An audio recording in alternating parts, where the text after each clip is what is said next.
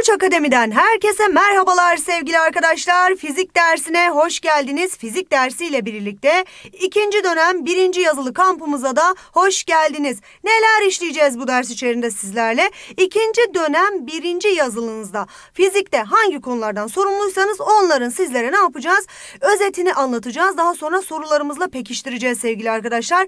Artık dönemin son sınavları ve başarılı olmak zorundayız. Özellikle bazı derslerden notlarımızı çok iyi yükseltmemiz gerekiyor sevgili arkadaşlar ki biliyorsunuz ki fizikte o derslerden bir tanesi. Dolayısıyla konu anlatım videolarımızı izleyin. Daha sonra yazılı hazırlık kampımızın videolarını izledikten sonra sorularımızı çözüyoruz.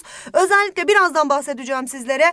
Bu yazılı hazırlık kampı ile alakalı olarak kitaplarımızda bulunan yazılı hazırlık kısımlarını da çözdükten sonra çözümlerini de kontrol ettikten sonra artık sınava gönül rahatlığıyla birlikte girebilirsiniz sevgili gençler.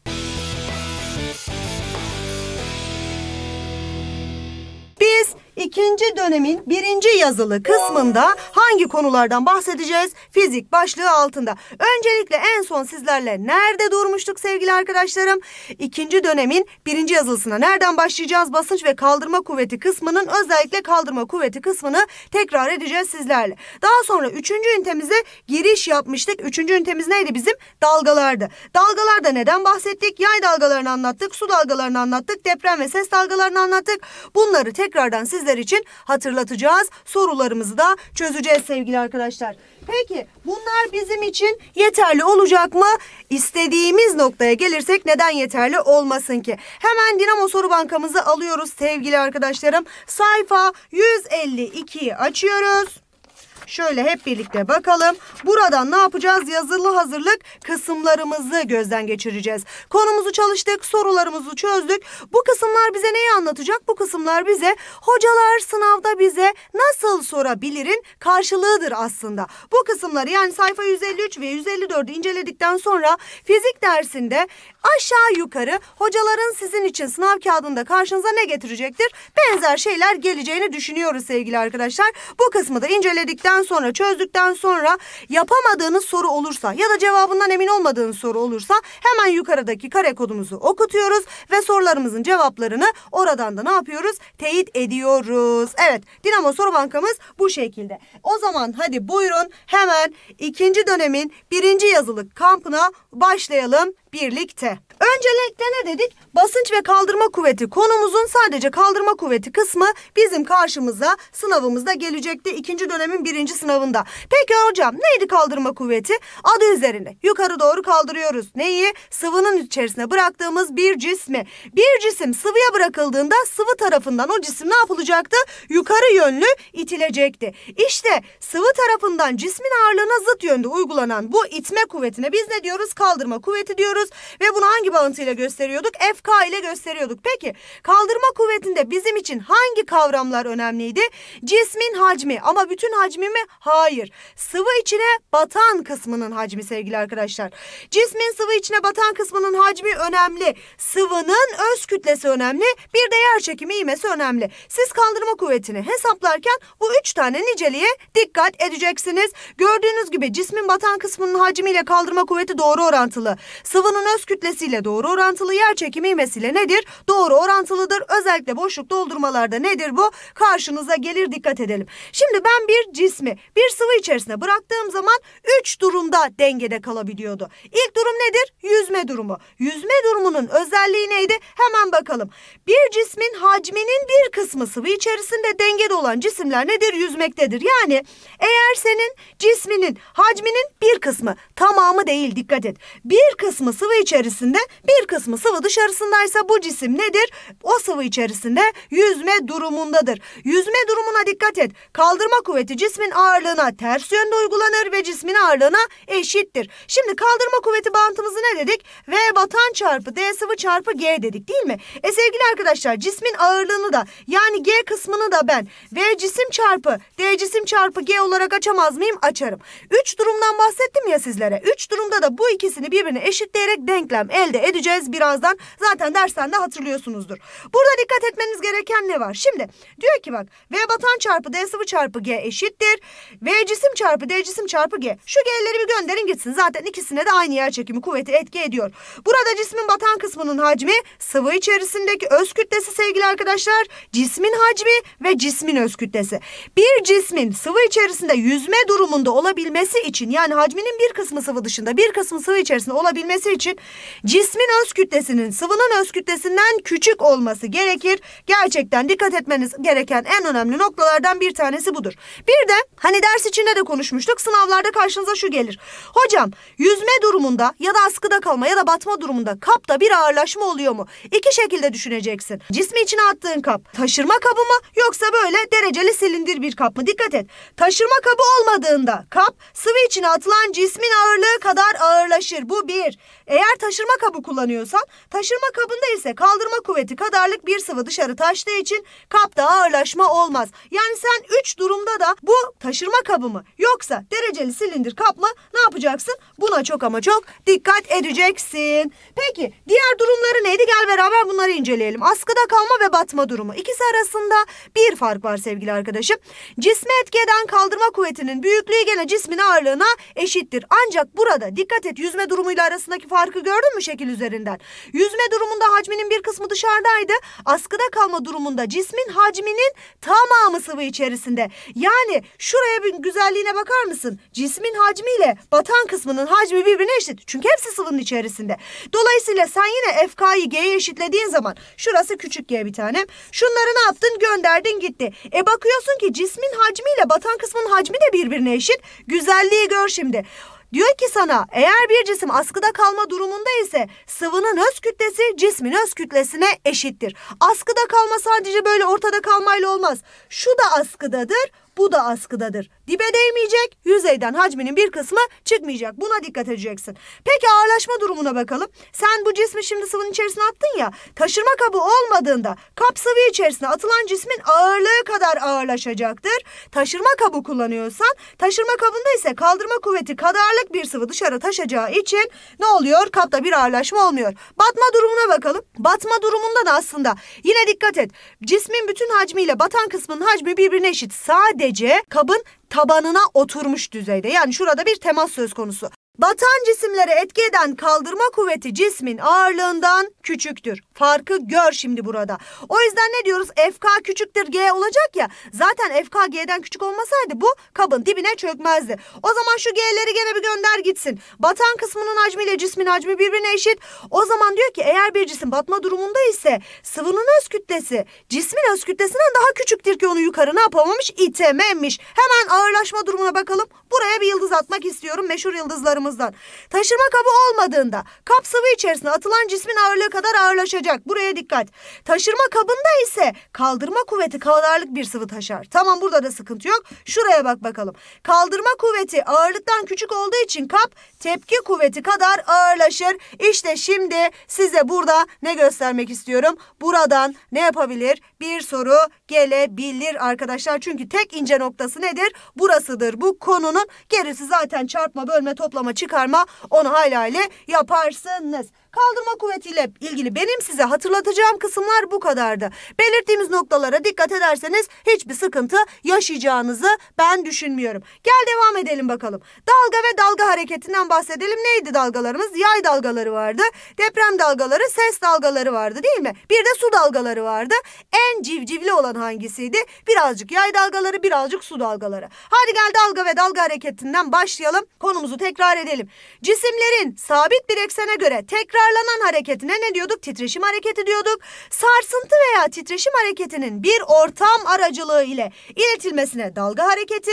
Bu aktarım sırasında enerjinin oluşturduğu şekle de dalga şekli diyorduk. Dalga diyorduk sevgili arkadaşlar. Al sana fıstık gibi bir nedir? Boşluk doldurma. Peki belli başlı temel kavramlarımız vardı. Bir kere neydi? Dalga boyu kavramı önemliydi. Periyot frekans çok önemliydi sevgili arkadaşlar. Ki burada öğreneceğiniz temel kavramlar bütün dalgalarda geçerliliğini koruyordu. Ard arda gelen, bak dikkat et, ard arda gelen iki dalga tepesi ya da şurayı devam ettireyim. iki dalga çukuru arasındaki mesafeye ben ne diyordum? Dalga boyu diyordum. Bunu hangi sembolle gösteriyorduk? Lambda sembolüyle gösteriyorduk. Uzunluk belirttiği için sevgili arkadaşlarım uzunluk cinsinden birimimi yazıyordum. O yüzden ne diyoruz? SI'de birimi metre olarak gelir. Dalga boyu sevgili arkadaşlar frekansla ters orantılıdır. Neydi hocam frekans? Bir dalga kaynağından bir saniyede çıkan dalga sayısı. E şimdi doğru değil mi? Bak sen bir dalga kaynağından ne kadar sık dalga çıkarırsan dalga boyu ne olacak? Küçülecek. Frekansı ne kadar azaltırsan dalga boyu da o kadar artacaktır. Ard arda gelen iki dalga tepesini de alabilirsin. Bir dalganın başladığı ve bittiği nokta arasındaki şu mesafeyi de ne yapabilirsin? Lambda yani dalga boyu olarak alabilirsin. Özellikle karesel sistemlerde değil mi? Kareler üzerine dalga yerleştiriyor öğretmenlerimiz. Oradaki birim karelerden yararlanarak da ne yapabilirsin? Dalga boyunu bulabilirsin. Frekansla ters orantılı olduğunu lütfen unutma. Dalgalarda dalga boyu çok önemli bir kavramdır. Öğretmenlerimiz de sık sık üzerinde durmuştur zaten. Peki öbür bağıntılarımız neydi? Periyot ve frekanstı. Periyot zaman ifade eder. Hani derler ya belli periyotlarla yaptık diye. Nedir? O belli zaman aralıklarıdır işte. Bir tam dalganın oluşması için geçen süreye biz ne dedik? Periyot dedik. Büyük T sembolüyle gösterdik. Birimini ne olarak kullandık? Saniye olarak kullandık. Gel bakalım frekansa. Biz frekansı çok seviyoruz. Özellikle bir durumu vardı çünkü. Birim zamanda oluşan dalga sayısına bak sayıyla alakalı bir şey frekans denir. Frekansı küçük F sembolüyle gösteriyoruz. Skaler bir büyüklüktür. Yani sadece sayısal sonucu ve neyi vardır? Birimi vardır. Birimini hertz olarak da alabilirsin. Saniye üzeri eksi bir olarak da alabilirsin. Bunun nereden geldiğini şurada göstereceğim. Çocuklar şu o kadar önemli bir kavram ki. Gerçekten ne kadar yıldız atsak az. Frekans yalnızca kaynağa bağlıdır. Ortamdan bağımsızdır. Kaynak değişmediği sürece frekans değişmez ki hocaların en tuzaklı soruları bu cümleden gelir. Frekans değişir mi değişmez mi? Hayır. Kaynak değişmedikçe çünkü nedir? Kaynağa bağlı bir şeydir değil mi? Kaynak değişmedikçe ortam değişsin. istediği kadar değişsin. Ne olursa olsun frekans değişmiyor. Frekansla periyot arasında bir bağıntı var. Önemli bir bağıntıdır. Periyot çarpı frekans her zaman ne eşittir? 1'e eşittir. Sen sadece buradan periyodu çekersen 1 bölü frekans, frekansı çekersen 1 bölü periyot olarak karşına gelir. İşte 1 bölü saniye olayı da buradan zaten. İşin numarası burada. Şimdi bak bakalım. Frekans dedik. 1 bölü periyot. Periyodun birimi neydi? Saniyeydi. E sen frekansı düzenle şuradan ne gelir? Saniye üzeri eksi bir gelir. Özel adı da nedir? Hertz olarak da kullanılabilir. Aklınızda bulunsun boşluk doldurmaların en vazgeçilmez sorularından bir tanesidir. Peki ne vardı bir de dalgaların yayılma hızından bahsetmiştik sizlere. Bir kere dalgaların yayılma hızı dalganın yayıldığı ortama nedir? Bağlıdır sevgili gençler. Aynı ortamda ilerleyen dalgaların hızları eşittir. Şimdi hocam burada ortamdan kastınız ne? Mesela yay dalgası için ne demiştik? Kalın yay yay ince yay. Su dalgaları için ne demiştik? Derinlik sığlık değil mi? Ortamdan kastımız bu bir taneler. Genel hareket denklemimiz vardı ya T bizim 8. sınıflardan 7. sınıflardan öğrendiğimiz bir şeydi değil mi? Ne diyor? X eşittir V çarpı T. Yani yol eşittir hız çarpı zaman olarak benim karşıma gelmişti. E ben bunu aldım dalgalara uyarladım. Dalganın aldığı yolu lambda ile göstermiyor muydum? Gösteriyordum. Hız gene hızdır. Burada periyot artık şöyle diyelim şu küçük t bu büyük t. Böyle bir düzeltme yapalım. Küçük zaman yerine periyodu kullandım. E artık bak her şeyi bulabilirim. Sen buradan hızı çekersen ne olacak? Lambda bölü t olacak. Yani dalga boyu bölü geçen süre periyot olacak. E şimdi bak periyotla frekans arasında şöyle bir bağıntım yok muydu? Vardı. Sen şurada periyot yerine 1 bölü f yazarsan çok sık kullanılır çocuklar. Hız eşittir lambda çarpı f olarak da karşınıza gelir. Özellikle su dalgalarında, yay dalgalarında bu çok kullanılıyor. Aklınızda bulunsun. Peki dalga çeşitlerimiz neydi? Nasıl sınıflandırmış dalgaları? Gel burada da beraber sınıflandıralım. Bir kere dalgaları ben iki basamakta inceliyordum. Bir titreşim doğrultusuna göre bakıyordum. Bir de taşıdığı enerjiye göre bakıyordum. Titreşim doğrultusuna göre olanlar neydi? Enine ve boyuna. Taşıdıkları enerjiye göre olanlar neydi? Mekanik ve elektromanyetik dalgalar. Hocam enine boyuna nedir? Önce onların tanımını hatırlat bize. Titreşim doğrultusu ilerleme doğrultusuna dik olan dalgalara ben ne diyordum? Enine dalga. Titreşim doğrultusu ile ilerleme doğrusu para paralel olan dalgalar da boyuna dalgalardı. Nedir enine dalgalar? Deprem, yağış, su, elektromanyetik yıldızımı atarım. Boyuna dalgalara gel. Deprem, yağış, su, sese yıldızımı atarım. Şimdi bak deprem, yağış, su hem enine hem boyuna dalgadır. Elektromanyetik dalgalar sadece enine baş harflerinden kalabilir aklında. Güzel bir kodlamadır. Boyuna dalgalara baktığımda sadece boyuna olan dalgalar ses dalgalarıdır. Test sorularında sevgili arkadaşlar gerçekten bunu ne yapıyor? Hoca soruyor. Özellikle test kısmında bu boşluk doldurma test klasik oluyor ya. Test kısmına gerçekten karşınıza gelen bir bölümdür bu. Dikkat edeceksin. Mekanik dalga neydi mekanik dalga? Yayılmaları için maddesel ortama ihtiyaç duyan dalgalara ben ne yapıyordum? Mekanik dalga diyordum. Yani katı sıvı gaz ortamı gibi ortamlara ihtiyacı vardır mekanik dalgaların yayılabilmesi için. Deprem, yağ, su, ses dalgaları nedir? Mekanik dalgalardır. Elektromanyetik dalgalar da boşluk doldurmada gelebilir. Nedir elektromanyetik dalgalar? Radyo dalgası, mikrodalga, kızılötesi ışık, mor ötesi ışık, X ışını ve gama ışınları da neydi? Elektromanyetik dalgalarımız idi. Bu kısım taşıdığı enerjiye giriyor. Lütfen unutma. Yay dalgalarıyla başlayalım. En son ses depremle sonlandıralım. Esnek yaylar üzerinde oluşturulan dalgalara ne diyorduk? Yay dalgası diyorduk. Dalgaların bir engele çarparak geldikleri ortama geri dönmesi yansıma kavramını getirmişti benim karşıma. Sabit uçtan yansıyan şimdi ben bir dalgayı oluşturdum ne yaptı? Gitti bir yere çarptı geri dönecek. Yansıma geri dönmek demekti ya. İki şekilde geri dönebilir. Bir sabit bir uca çarpabiliyordu. Bir de hareketli bir uca çarpabiliyordu. Sabit uçtan yansıyan dalgalar ne yapıyordu? Ters dönerek bana geri geliyordu yansıyordu. Yani sen bunu baş yukarı göndermişsen sabit bir uca çarpmışsa bu giden dalga yansıdıktan sonra baş aşağı olarak ne yapıyordu? Geri dönüyordu. Dikkat et. Hareketli uçtan yansıyan dalgalar ters dönmez sevgili arkadaşlar. Hangi kuvvete dayandırıyorduk biz bunu? Etki tepki yasasına. Mesela şöyle yapalım. Baş aşağı bir e, dalga gönderdin sen hareketli bir uca çarptı bu. Ne yapıyor? Bu giden dalga. Yansıdıktan sonra yine hareketli uçtan yansıyor. Baş aşağı olarak geri dönüyor geldiği ortama. Sabit uçtan ters döner geri. Hareketli uçtan ne yapıyor? Hiç şeklini değiştirmeden geldiği ortama geri dönüyor. Yay dalgalarında hız yayı geren neye bağlıydı sevgili arkadaşım? Kuvvete ve yayın birim şöyle renkli bir kalemle yazalım oradaki çizgilerle karışmasın. Birim uzunluk kütlesine bağlıydı değil mi? Birim uzunluk kütlesine bağlıydı. Peki biz bu birim uzunluk kütlesini nasıl göstermiştik? Mü sembolüyle göstermiştik. Siz yayın kütlesini uzunluğuna böldüğünüz zaman mü'yü buluyordunuz. Hani dedik ya hız, kuvvet ve mü ile orantılıdır diye. Yaydaki hızı nasıl elde ediyorum ben? V eşittir F bölü yani şuradaki büyük F olacak. F bölü mü şeklinde ne yapıyorum? Yazıyorum. Kök içerisinde kuvveti birim uzunluk kütlesine bölerseniz hızını elde edebilirsiniz. Burada doğru orantılık ters orantılık çok gelir karşınıza bakın. Mü kütleyle değil mi? Doğru orantılı uzunlukta ters orantılı dikkat et. E sen buradaki mü'yü buraya yerleştirdiğin zaman şöyle yaparsan eğer ne olur? Bak şöyle yapalım. V eşittir kök içerisinde. Mü'nün yerine ben ne yazayım? M bölü L yazayım. F çarpı L bölü M olarak gelir. Burada da ne yapabilirsin? Doğru orantılık, ters orantılık elde edebilirsin. Sever hocalar, sorar hocalar. Şimdi Ortam değiştirmesinden bahsetmiştik ya hani sizlere. Dedik ya işte dalganın hızı ortam değiştirmedikçe değişmez diye. İşte şurada kalın yay ince yay muhabbeti buradan geliyordu arkadaşım. Kalın yani ağır yayların birim uzunluk kütlesi daha fazla olduğu için atmanın ilerleme hızı aynı yayda gerilmiş ince yani yayla ince yaydan nedir daha küçüktür. Yani kalın yayın kalın yayda ilerleyen atmanın hızı ince yaydakinden nedir? Daha küçüktür. Çünkü niye daha küçük olmasın ki? Kütle arttıkça sevgili arkadaşım bak kütle arttıkça ne yapıyor? Hız azalıyor. Buradan gelir soru. Lütfen buna çok ama çok dikkat et. Atmaların farklı ortamlara geçişinden bakalım. Ne demek istiyorum? Kalın yaydan inceye geçerken hızı nasıl değişir? İnce yaydan kalın yaya geçerken hızı nasıl değişir? Dikkat et. Kalın yaydan ince yaya geçen atmalarda iletilen atma ince yayda ilerlediği için daha hızlı ilerler. Şimdi burada iki basamağa ayrılıyor. Senin kalın yayından ince yayına bir atma geliyor. Ancak burada atma ikiye ayrılarak yoluna devam ediyor. Bir tanesi çarpıp geri dönüyor bir kısmı, bir kısmı da devam ediyor. Çarpıp geri dönene yansıyan atma diyeceğiz. Devam edene iletilen atma diyeceğiz. Demiştik. Lütfen bunları hatırla.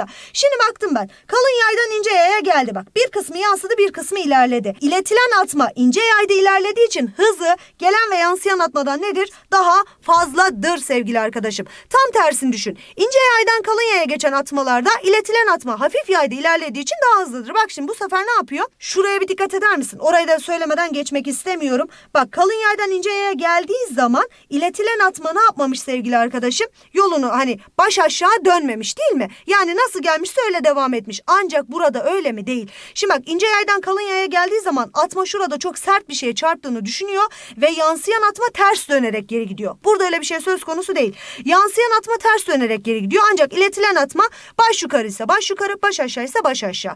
Dikkat et. Gelen atma ince yaydan geldiği için ve yansıyan atma ince yayda olduğu için ortam değişmedi, hızları eşit. Ama iletilen atma inceden kalına geçtiği için hızı ne yaptı? Azalmış oldu. İşte senin dikkat etmen gereken yaylarda, yay dalgalarında en önemli noktalar nereler? Buralar. Geldik su dalgalarına. Su dalgalarında sadece neye dikkat edeceksin? Derin ortam, sıvı ortam bir de stroboskop sorularına dikkat edeceksin. Özelliklerine bakalım. Ee, sorar Su dalgalarının özelliklerinden dört tanesini beş tanesini yazınız der öğretmen. Kaynağın şekline bağlı olarak doğrusal ya da dairesel şekilde oluşabiliyordu. Ortam değişmezse yani derinden sığa ya da sığdan derine geçmezse hızları değişmiyordu. Ortam değiştiğinde frekansları ve periyotları sabit kalıyordu.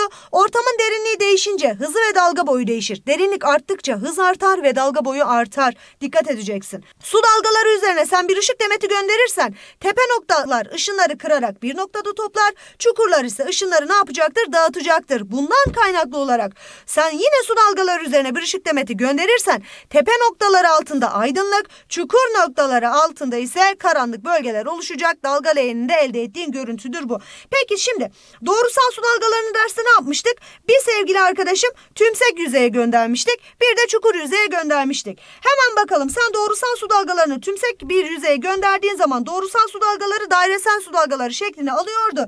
Sanki nasıl yansıyordu? Engelin, engelim tümsek ya tümsek engellerde odak noktası arkada olur ya. Ne yapıyordum? Sanki odak noktasından dağılıyormuş gibi engele çarptıktan sonra geri yansıyordu. Peki sen doğrusal su dalgalarını çukur bir engele gönderirsen ne olur? Doğrusal su dalgaları çukur engelden yansıdıktan sonra dairesel şeklini alırdı. Çukur engelden yansıdıktan sonra şöyle dalgalar dikkat et bak küçüle küçüle belli bir noktada toplanır. Daha sonra bu noktadan tekrar dağılırdı. Bu nokta yine neresi? Odak noktasıdır. Nasıl yansıdığını böyle açıklamış olduk sizlere sevgili gençler. Devam edelim bakalım sevgili tonguç severler. Su dalgalarında kırılmadan bahsedelim. Kırılma neydi? Çarpıp geri dönme değildi de ortam değiştirirken belli bir doğrultu değiştiriyordu. Doğrultu değiştirdikten sonra yoluna devam ediyordu. Dikkat et. Su dalgalarında sevgili arkadaşlar bu kırılma ve yansıma olayları ışığın kırılma ve yansıma olaylarıyla birebir örtüşür. Oradan da aklında kalabilir. Derin ortamdan sığ ortama ya da sığ ortamdan derin ortama geçen doğrusal dalgaların geçiş yaptıkları ortamlara göre hızlarında ve dalga boylarında değişiklikler meydana gelir. Gel beraber inceleyelim. Sadece ne zaman kırılmıyordu su dalgaları bunu da söyleyeyim öyle yapalım. Eğer yüzeye yani derin ortam ve sığ ortamı dik ayıran normal çizgisine dik bir şekilde geliyorsa kırılmadan yoluna devam ediyordu. Değil mi? Buna çok dikkat edeceksin.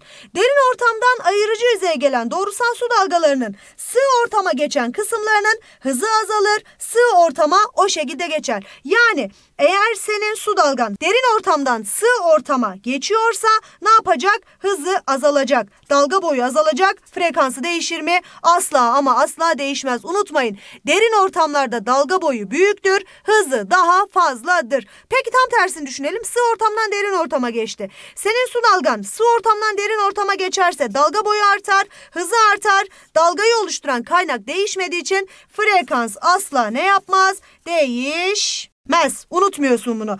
Çünkü frekans yalnızca kaynağa bağlıdır. Soru da gelirse bu şekilde gelir. Derin ortamdan sığ ortama geçti. Dalga boyu nasıl değişti? Hızı nasıl değişti? Buna çok dikkat edeceksin. Yani şöyle toparlayalım mı? Derinlikle dalga boyu hız tamamı birbiriyle nedir? Doğru orantılıdır. Geldik ses dalgalarına. Ses dalgalarında kavramlar bizim için önemli. İşte sesin şiddeti, sesin büyüklüğü, sesin tınısı temel özellikler bizim için önemli arkadaşlarım. Esnek bir ortamda taneciklerin titreşim enerjisini birbirine aktarması sonucunda ne oluşur? Ses dalgaları oluşur. Zaten bütün dalgalar neydi? Titreşim hareketi sonucunda oluşuyordu. Tanecik bir yerden bir yere hareket etmiyordu. Birbirini titreştirerek enerjisini aktarıyordu ve bütün dalgalar enerjiyi bir ortamdan başka bir ortama aktarmak için varlar aslında. Yaratılış amaçları bu arkadaşlar. Hemen bakalım özelliklerine. Ses ne diyeceğiz buraya? Dalgaları diyelim. Ses dalgaları boyuna ve mekanik dalgalardır. Unutma sadece boyuna olan ses dalgalarıydı. Sadece enine olan elektromanyetik dalgalardı. Mekanik dalgalardır. Yani yayılmaları için maddesel ortama ihtiyaçları vardır. Asla ama asla boşluk ta yayılmazlar. Taneciklerin titreşimi birbirine aktarmasıyla yayıldığı için maddenin molekülleri birbirine ne kadar yakın olursa ses dalgaları daha hızlı ilerler. Şimdi Maddeyi biz temelde neydi? Katı sıvı gaz olarak ayırmıştık değil mi? Peki taneciklerin birbirine en yakın olduğu maddenin hali neydi? Katılardı değil mi? Boşluk yoktu tanecikler arasında. Dolayısıyla bu nedenle ses en hızlı katılarda en yavaş ise gazlarda yani gaz ortamlarında ne yapacaktır? İlerleyecektir. Tamamen titreşim birbirine ne kadar hızlı yayılırsa değil mi? Titreşim ne kadar çabuk aktarılırsa ses dalgaları da o kadar hızlı yayılacaktır. Peki sesin yüksekliği nedir? Sesin yüksekliği sevgili arkadaşlar tamamen frekansa bağlı bir kavramda hatırla. Sesin inceliği ya da kalınlığını ayıran özelliğidir sesin yüksekliği. Sesin ince veya kalın oluşu da tamamen neye bağlıdır? Frekansa bağlıdır. Eğer ses kaynağının frekansı artarsa ses incelir, sesin yüksekliği artar, frekansı azalırsa kalınlaşır, sesin yüksekliği azalır. Şimdi şu sorudan bence sınavda bir tane ne yapın? Bekleyin, kesin çıkar diyebilir miyiz? Bence diyebiliriz. Hocalar seviyor çünkü. Ya üflüyorlar soruda şişenin içerisine ya da böyle özdeş bir tokmakla şişelerin içerisine vuruyorlar. Şimdi baktığın zaman bak burada KLM şişeleri var ve içlerinde farklı miktarlarda sıvılar var. Aynı sıvılardan farklı miktarlarda özdeş tokmaklarla vurduğunuz zaman frekans sıralamasına bakar mısın? FK büyüktür, FL büyüktür, FM. Yani en ince ses K'dan sonra L'den sonra M'den çıkacaktır. Buradan bir soru bekleyin derim. Ben sizlere sonra yorumlara yazarsınız. Hocam çıktı dediniz çıktı ya da hocam çok kesin dediniz çıkmadı. %50 %50 arkadaşlar %50 önemli bir orandır neticede. Sesin tınısına bakalım hemen ses tınısı nedir? Kavramlara dikkat edeceksin çünkü ses dalgalarında seni zorlayacak hiçbir şey yok. Tını ne demek? Aynı frekansta aynı şiddete ses dalgası yayan iki kaynaktan çıkan sesi ayırt etmeye yarayan özelliktir tını. Mesela biriniz keman çalıyorsunuz biriniz gitar çalıyorsunuz. Aynı şarkıyı çalıyorsunuz. Aynı şiddette dokundunuz ne yaptınız? Tellere aynı kuvvet uyguladınız. Kemanla gitarın sesini ben neye bakarak ayırt ediyorum? Sesin tınısına bakarak ayırt ediyorum. Aynı notaların farklı müzik aletlerinde çaldığında farklı algılamasının nedeni ses tınısıdır. Ses şiddetine bakalım. Ses dalgalarının taşıdığı enerjiyle doğru orantılıdır. SI'daki birimi desibel olarak geliyordu karşıma. Ses şiddeti kaynaktan uzaklaştıkça azalır. Kaynağa yaklaştıkça ne yapıyor? Artıyor. Ambulansı size yaklaştığını uzaklaştığını düşünebilirsiniz. Şuraya önemli. Şura, şuraya önemli yalnız. İnsan kulağı 0 desibelle 120 desibel arasındaki sesleri rahatlıkla duyabiliyor sevgili gençler. Sesin yansıması ve yankı nedir? Ses dalgalarının sert bir yüzeye çarpıp yayılma doğrultusunu değiştirmesine sesin yansıması diyoruz. Ses düzgün ve pürüzsüz yüzeylerden tabii ki daha iyi yansıyacaktır. Sesin bir engele çarparak geldiği kaynağa geri dönmesi de benim karşıma yankı kavramını ne yapıyordu? Çıkarıyordu. Dediğim gibi ses dalgalarından işlem yapmazsın. Sadece şu altlarını çizdiğimiz kısımlara özellikle dikkat edersen yeterli gelecektir. Rezonans olayımız vardı. Derste de bahsetmiştik. Neydi rezonans olayımız? Maksimum genlik demekti arkadaşım. Bir ses kaynağından çıkan ses dalgaları. Başka maddelerin de titreşmesini sağlayarak aynı frekanslı ses oluşmasına neden olurdu. Bu olaya rezonans kavramını benim karşıma getirirdi. Şimdi cisimlerin şekline, yapıldığı maddenin cinsine ve esnekliğine bağlı olarak sahip olduğu frekansa biz ne diyorduk? Doğal frekans diyorduk. Eğer uygulanan etkinin frekansı cismin doğal frekansına eşit olursa rezonans gerçekleşir. Hocam günlük hayatta nerelerde kullanıyoruz rezonansı? Haberleşmede kullanıyoruz, tıpta kullanıyoruz, müzik gibi birçok alanda gördüğünüz gibi diyapozanlarda kullanıyoruz. Örneğin mesela hani hastanelere gittiğimizde ne çektiriyoruz? MR. Nedir o? Manyetik rezonanstır. İşte burada radyo dalgaları ile vücuttaki hidrojen atomları rezonansa girer ve ben ne yaparım? Bir görüntüleme elde ederim. Rezonansın güzelliği, inceliği de burada sevgili arkadaşlar. Dalgalarımızın son kısmı neydi? Deprem dalgalarıydı. Kavramlar bizim için önemliydi. Zaten sorular da buradan geliyordu. Neydi? Yer kabuğunun kırılması sonucunda yani yer sarsıntıları sonucunda yer kabuğunda oluşan titreşim hareketine ne diyordum ben? Deprem dalgası. Bu dalgaların geçtiği ortamları ve yer yüzeyini sarsması olayına da deprem diyordum. Mekanik dalgalarda yayılmaları için maddesel ortama ihtiyaçları vardı. Hem enine hem boyuna yayılırlardı. Depremin enerjisinin ortaya çıktığı nokta odak noktası idi. Yer yüzeyinde yani sarsıntı üzerinde, yer üzerinde odak noktasına en yakın nokta neydi? Depremin merkez üssüydü. Hani hep duyarız ya merkez üssü işte şu ilçe bu il gibi şey ifadeler. Bu nedir işte odak noktasına en yakın kısımdır. Depremin büyüklüğü depremin yeryüzüne çıkan enerji düzeyinin bir ölçüsü olarak karşıma gelirdi. Bu büyüklüğü ben neyle ölçüyordum depremin büyüklüğünü? Sismograf denilen bir cihazla ölçüyordum. Sismograf ile yapılan ölçüm Richter ölçeği denilen bir ölçüm ile matematiksel olarak hesaplanıyordu. Şurasına dikkat edeceksin. Richter ölçeğinde arkadaşlar skala 1 ile 9 arasındadır. Yani 1 ile 9 arasında ölçeklendirilmiş bir ölçeklendirmedir bu.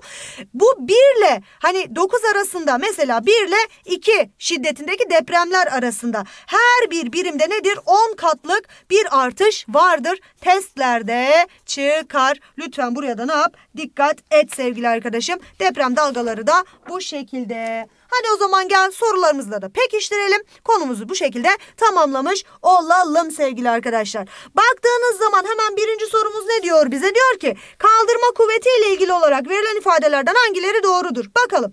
Şimdi diyor ki kaldırma kuvveti dedi ya hemen bağıntımı yazayım. Çocuklar fizikte böyle sözel olarak ifade edeceğiniz soru yoktur. En sözel görüneni bile ne yapın? Formül yazın oradan yorumlayın. V batan çarpı D sıvı çarpı G değil miydi kendileri? Tabii ki öyleydi. Cismin batan kısmı kısmının hacmiyle doğru orantılıdır. Baktım doğruladım doğru. Askıda kalan cisimlerde değeri cismin ağırlığına eşitti. Zaten neydi? FK eşittir G yazmıştık ya. Bu da doğru. Yer çekimi ivmesiyle doğru orantılıdır. G artarsa FK'da artar doğru orantılıdır. Sorumuzun doğru cevabı 1, 2 ve 3. Doğru seçeneğimiz ise E seçeneği olarak karşımıza gelmiş oldu.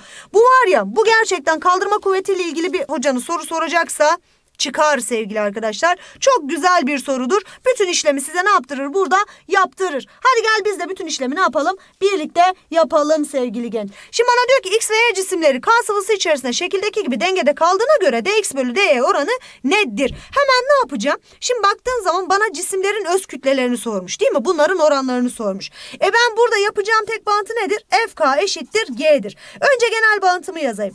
V batan çarpı D sıvı çarpı G eşittir. V cisim çarpı D cisim çarpı G olacak değil mi? Şu G'leri artık yazmama gerek yok.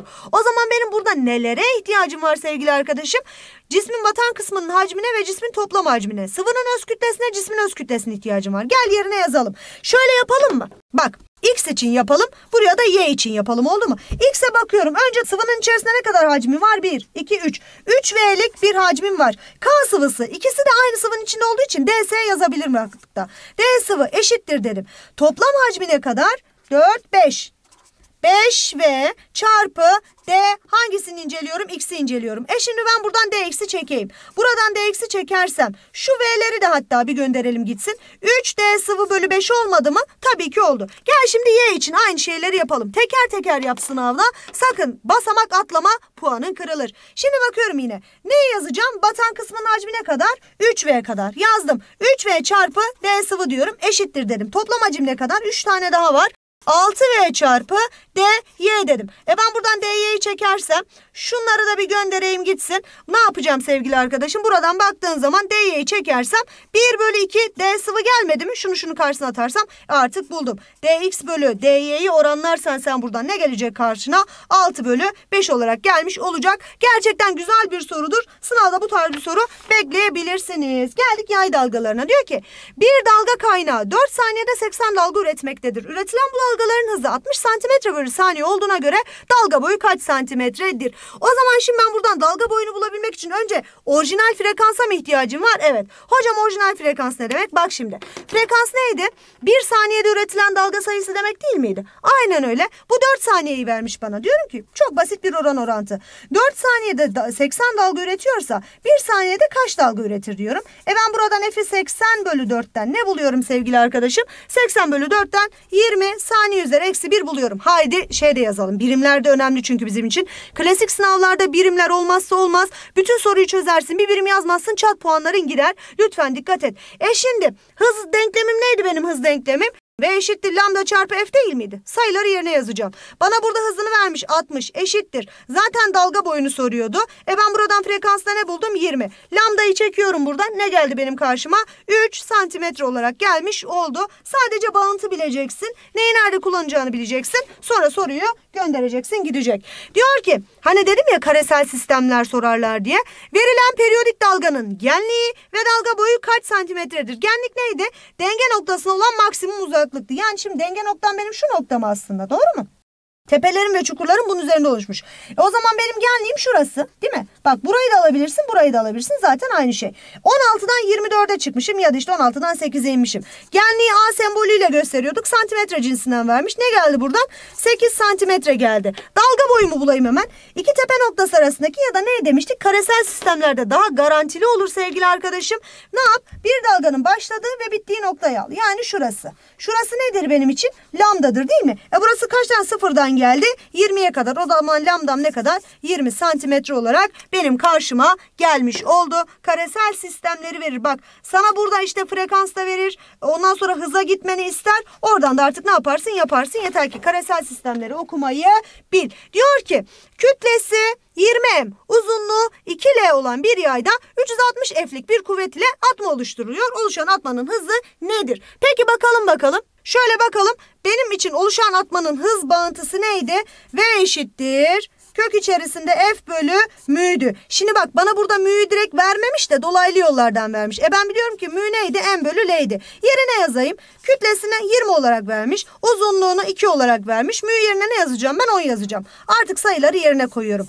Kuvvetim ne kadarmış? Kaç F'miş? 360 bölü 10. E şunları bir gönder gitsin. 36 kök içerisinde 36 ne olarak çıktı? 6 olarak çıktı. Benim hızım neymiş? 6. Peki santimetre vermiştir. Santimetre bölü saniye olarak da kullanabilirsin. Geldik su dalgaları ile alakalı. Gelebilir çocuklar. Çok popülerdir. Hocalarımız sever. Lütfen siz de ne yapın? Sevin ve dikkat edin. K noktasında bulunan bir dalga kaynağı tarafından üretilen dalgalar M noktasına kadar ulaşıyor. Ulaşsın. K ve M noktalarının derinlikleri şekildeki gibi ise bu noktalarda oluşan dalgaların dalga boyları arasındaki ilişki nasıldır? Şimdi derinlik dalga boyu hız doğru orantılı mıydı? Orantılıydı. Hadi gelin önce derinlik şey yapalım oldu mu? Bağıntısı çıkaralım beraber. Sıralaması çıkaralım. En derin ortam burada neresi? HL. Sonra HK sonra HM. E şimdi buna hız da doğru orantılıydı. Derinlikle hız değil mi? VL büyüktür. VK büyüktür. VM. Haydi gel dalga boyunu artık çıkaralım. Lambda L büyüktür.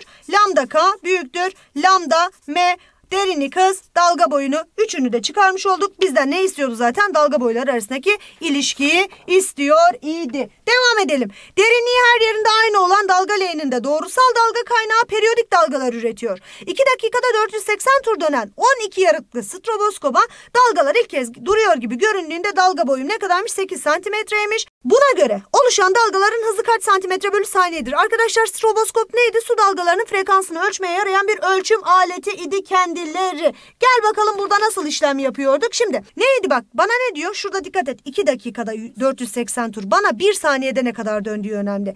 2 dakika kaç saniye yapar sevgili arkadaşım? 120 saniyede kaç tur dönüyormuş? 480 tur dönüyormuş. 1 saniyede hemen buradan ne bulacağım ben? Frekansımı bulacağım. Frekansa baktığımız zaman sevgili arkadaşlar 480 bölü 120'den frekansım benim buradan ne geldi? Saniye üzeri eksi 1 geldi. Bu neydi? Stroboskopun frekansı değil mi? Dalganın frekansı neydi?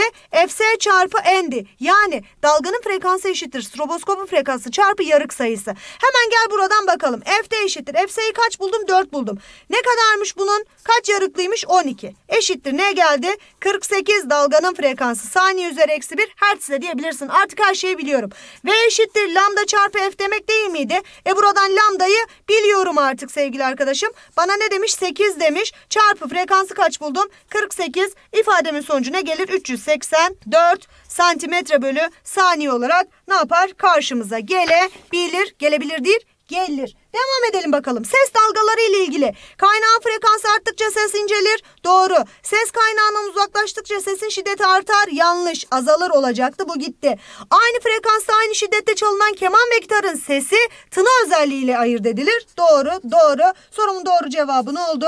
1 ve 3 D seçeneği olarak karşıma gelmiş oldu. Deprem dalgaları ile ilgili verilen ifadelerden hangileri doğrudur diyor. Enerjisinin ortaya çıktığı noktaya odak noktası denir doğru. Şiddeti sismografla il- ölçülür doğru. Mekanik dalgalardır bu da doğru. Sorumun doğru cevabı 1 2 3 doğru seçeneğimiz E seçeneği olarak geldi. Ve biz de dersimizin sonuna gelmiş olduk sevgili arkadaşlar. Ödüllü sorumuz karşınızda. Cevaplarınızı, yorumlarınızı bekliyoruz sevgili arkadaşlarım. Sınavlarda hepinize çok çok başarılar diliyorum. Şimdiden iyi sınavlar. Kendinize iyi bakın. Hoşçakalın.